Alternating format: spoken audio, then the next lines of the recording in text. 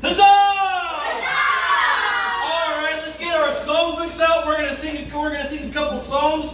Let's sing "I'm in the Lord's Army," the medieval one. So right there in the very middle of your workbook, where it says "Songs," it's time to sing.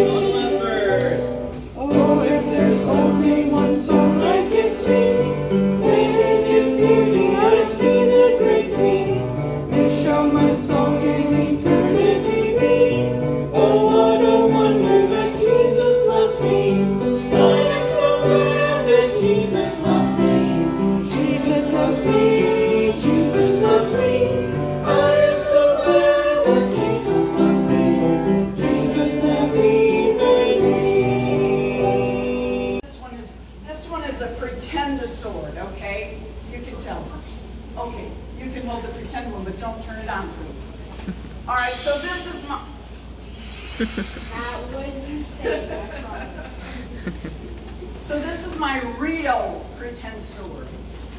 Okay, so the blacksmith, he's the one that would heat the iron. The blade is made out of iron, and he would heat that iron and he would pound it down, and then he would coat the blade with coal dust to make it very, very hard. Okay, so that it would stand up to a lot of use. The handle was often made out of bone or wood, and uh, this one, of course, isn't. But there you have it. Now, the sword of the Spirit, we learn in our passage that we are studying from Ephesians, is called the Word of God. The sword of the Spirit, which is the Word of God. So that's why when pastor says, get your New Testament out that he passes out, he says we're going to have a sword drill. All right? Because the Bible is called the sword of the Spirit, the Word of God. And so that's why we call our Bible drill a sword drill. And so if you're if you're a knight and uh, I think when they go jousting, I think maybe they use longer javelins or something. Am I correct about that? I don't, I'm not really up on all of that. But, oh, how about fencing? They use, um, they use swords, but a different kind. But they do a sword drill, like they do practicing. And uh, so that's what we do when we have a sword drill with our Bible. Because the Bible is called the sword of the Spirit Spirit, which is the Word of God. Okay? So now he's getting ready for battle. Hmm. Like that. Something like that. Okay?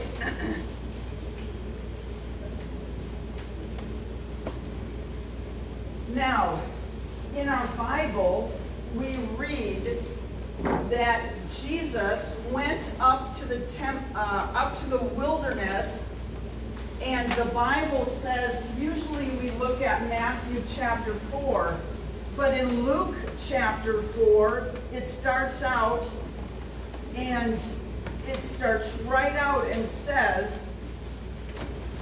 that Jesus, being full of the Holy Ghost, returned from Jordan and was led by the Spirit into the wilderness, being 40 days tempted of the devil. So a lot of times we those of us that know the story, we think of Jesus going up into the wilderness and he's just there fasting and praying. But in the Luke passage, it says he was there 40 days being tempted by the devil. So day after day, the devil is tempting him. And so we learn more about those temptations that uh, he was tempting Jesus. And we, we learn from the life of Jesus how we should act and how we should uh, react when the devil is tempting us. So uh, one time the devil came to him and said, If thou be the Son of God. Now we know from the Bible that Jesus is the Son of God, right? And he, so the devil says, if you are the Son of God, if, then command these stones to become bread. Now remember, Jesus was up there for 40 days and 40 nights. He hadn't had anything to eat. Now, I don't know about you, but sometimes after 40 minutes, I might be hungry. But certainly after a few hours, I get hungry. Don't you? I mean, you have a nice meal, and pretty soon you're saying to your mom, what can I eat? I'm hungry. Can I have a snack? And then she says, don't ruin your appetite. And you're thinking, I can't ruin my appetite. I'm hungry. right? And so the devil knows that Jesus was hungry. The Bible tells us that he was hungry. And the devil says, change these rocks into bread. And Jesus says, it is written. Now, in Jesus' day, they only had part of the Old Testament because the rest hadn't been written yet. The New Testament had not been written yet for sure. So everything that Jesus said was from the Old Testament. And he said, it is written, man shall not live by bread alone, but by every word that proceedeth out of the mouth of God. And that's from Deuteronomy. And so Jesus quoted the Old Testament. And so every day we feed our face because our belly is hungry, but we also need to be feeding our spirit with God's word every day because that is how we how our spiritual life can survive. You know, we're all worried about how can I how can I survive with my body? But we need to also be concerned about our spiritual life. How can we survive? It's by the word of God. Every day we need to be putting God's word in our mind and in our hearts. Okay, so that when the devil tempts us, we can say, it is written. So then, the devil took him up to the holy city and set him up on the top of the temple and had him look down. And he says, if thou be the Son of God. Oh, he said that again. If thou be the Son of God. Well, we know that he is the Son of God. He says, now get a load of what the devil does he turns the scripture around. First, Jesus used the scripture to, to refuse the devil and to resist that temptation. Now the devil says this, for it is written, and then he quotes a Bible verse, he shall give his angels charge concerning thee, and in their hands they shall bear thee up, lest at any time thou dash thy foot against a stone. And that's from the book of Psalms. And so now the devil is turning the Bible around and trying to use the Bible to tempt Jesus by saying, if you jump off of here, you won't hurt yourself. God will send his angels to you. And Jesus uses the, the scriptures in the correct way. And Jesus says, It is written again, Thou shalt not tempt the Lord thy God. Okay? So the devil just keeps at Jesus. Jesus is hungry. And when you get overly hungry, your body gets weak. And so the devil was trying to take advantage of this situation that Jesus was in. He was hungry, he was weak. And he says, first he says, make this bread. Jump off of here and your angels will protect you. The, the Bible says. But he was misusing it, wasn't he? And then the third one was he took him up into a high mountain. And the devil says to him, he showed him all the kingdoms of the world. And he said unto him, All these things will I give thee if thou wilt fall down and worship me. So the devil tried to entice Jesus by saying, I will give you all the kingdoms of the world if you fall down and worship me. We've already learned this week that Jesus is the King of kings and the Lord of lords. And so Jesus said to the devil, Get thee hence, Satan, for it is written, Thou shalt worship the Lord thy God, and him only shalt thou serve. So every time that Jesus was tempted by the devil, he used the scriptures properly to resist the devil. Then the devil leaveth him, and behold, angels came and ministered unto him. You see, Jesus didn't need the temptation of the devil to have the angels minister unto him, did he? When the devil left, tempting Jesus, the angels came and ministered unto him. So this is why it's called the sword of the Spirit, the Word of God, because with it we can use the Bible, if we use it properly, to resist the devil, because he will use it to tempt us. Okay? He, he used the Bible, uh, the devil tried to tempt Jesus to eat the rocks and change the rocks into bread. And we learn that the bread, it'll satisfy our belly, but we need God's word to spiritually grow. You know, when you see a newborn baby, it's really sweet and precious, right? But newborn babies aren't supposed to stay newborn babies, are they? If a newborn baby does not grow, it indicates a problem, right? And then they usually have to go to the doctor. Well, when you trust Jesus as your Savior, and you know that He's living in you, and you have confessed your sins and told Jesus you're sorry for your sins, but you don't read your Bible anymore. You never come to Sunday school or church, and you're never learning more and more about God's Word and getting God's Word more and more into your heart. You're like that newborn baby in your spiritual life. And so we know that's not normal. And God's Word even says, as newborn babes, desire the sincere milk of the Word. In other words, just keep learning God's Word. Keep reading it.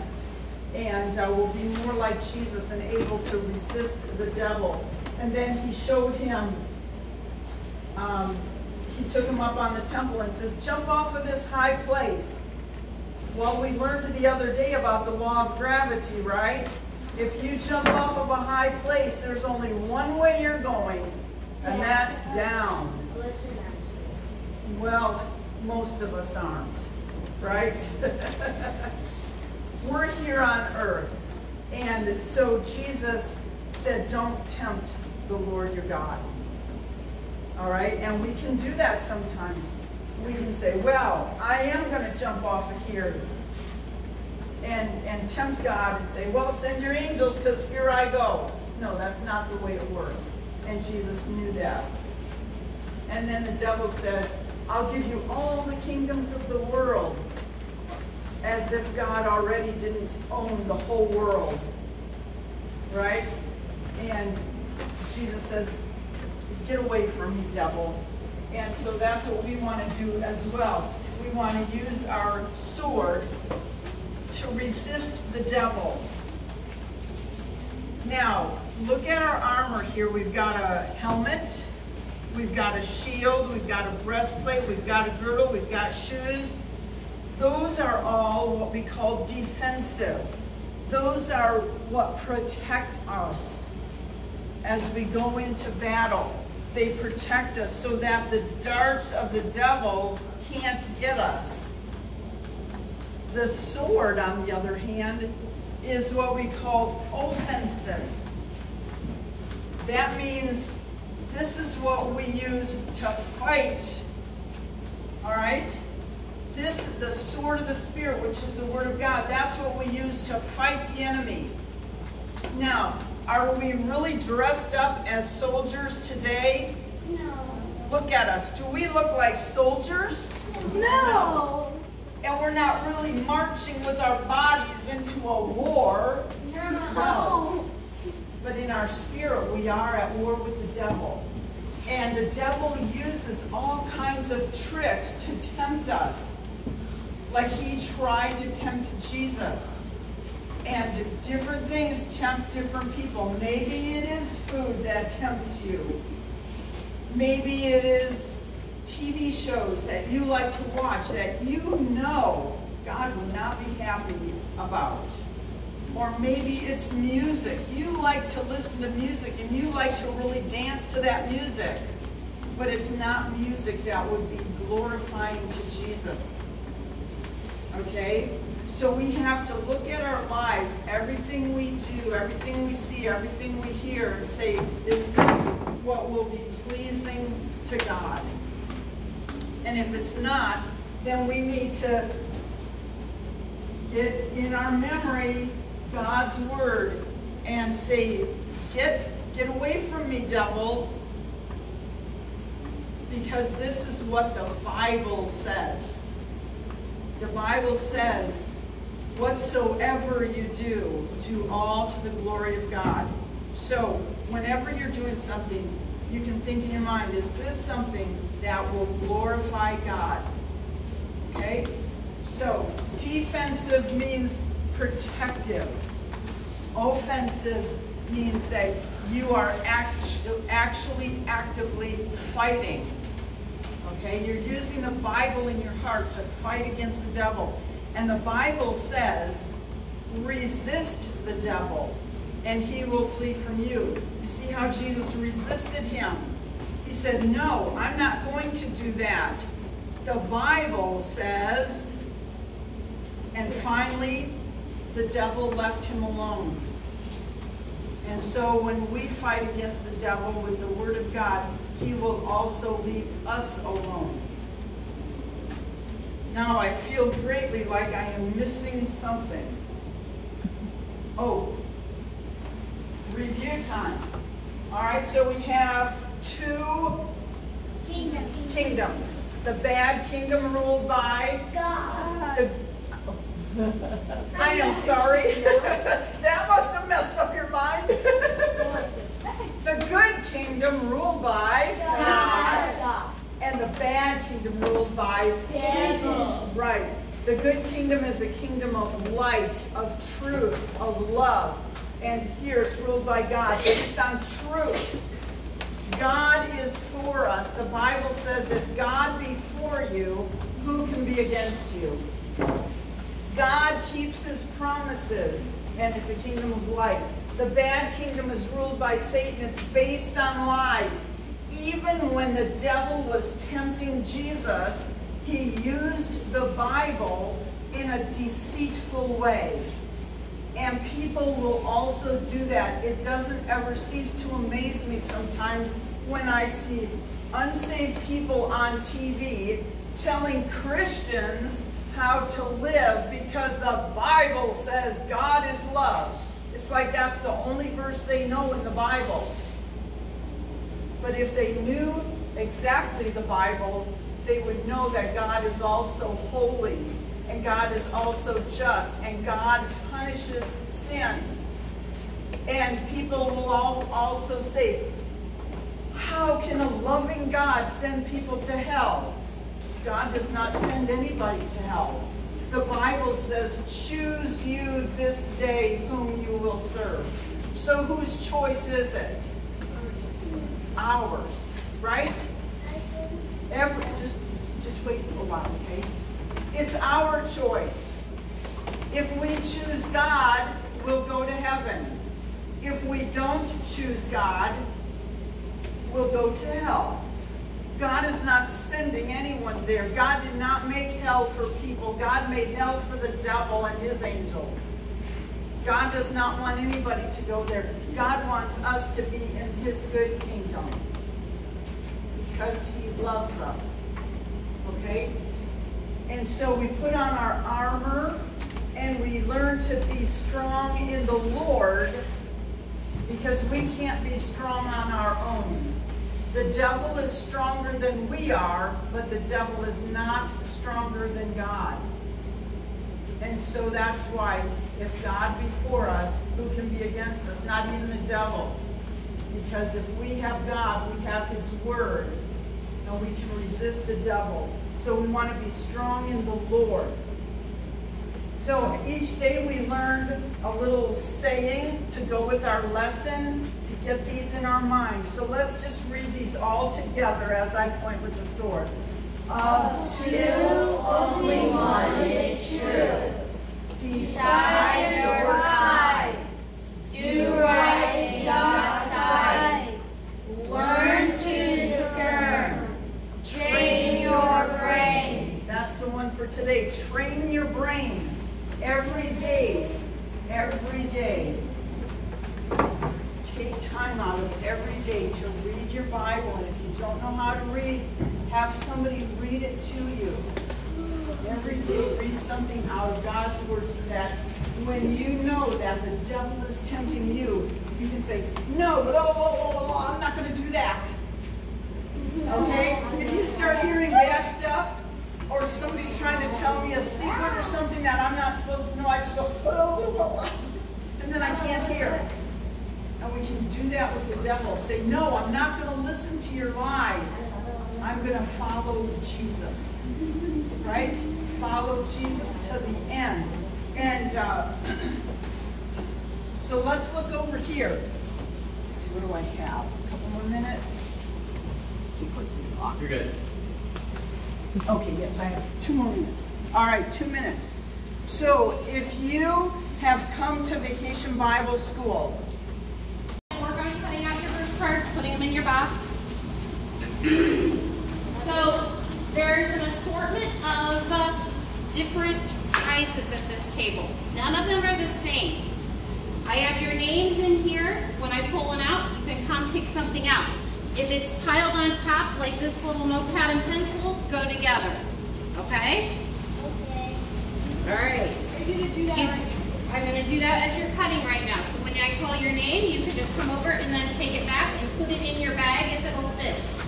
Otherwise, just set it right on top. All right, just as a reminder, listen, just grab my Bible.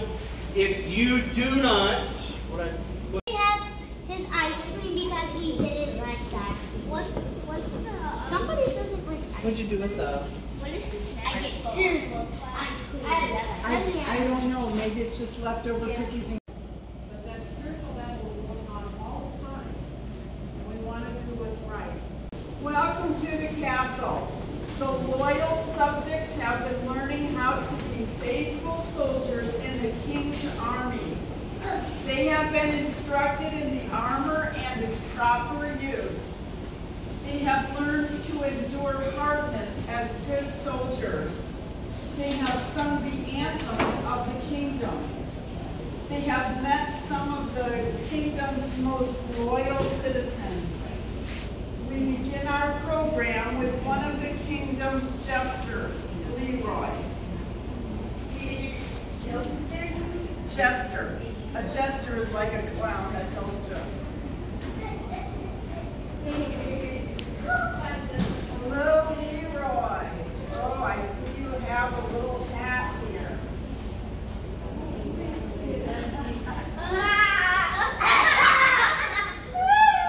Hello. Hello, Leroy. How are you? Well, I'm just fine, Miss Nancy, and I've got to a decision, and what's that? My decision is I am going to be a missionary doctor. A missionary doctor. Well, that's very interesting. Well, let me ask you some questions then that will help you to know, will help me to know how well you would do as a doctor. Okay, try. All right, here we go. Um, what would you do if somebody fainted? Oh, that's easy. Revive. Okay, that's. That's quite a head you've got, jiggly and everything. Yeah, thank you, thank you. Okay, um, let's see, what if somebody had a cut on their head and they were bleeding from their head? Oh, that's easy. I'm gonna tourniquet on their neck. Okay, um, hmm, what if somebody had sunstroke? Oh, that's easy. You just hit them with a whirlwind. Okay, um, oh, what would you do if a dog bit you? Oh, that's easy too. You bite them back.